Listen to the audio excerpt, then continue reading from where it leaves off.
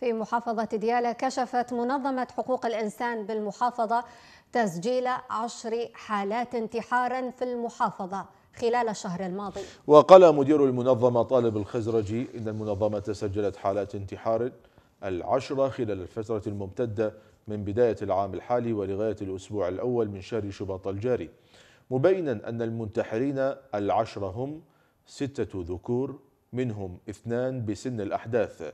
وأربع إناث مشيرا إلى استخدام الطلق الناري والشنق والحرق في الانتحار. تسجيل عشر حالات في عام 2018 لغاية الأسبوع الأول من الشهر الثاني. ست حالات ذكور وأربع حالات إناث.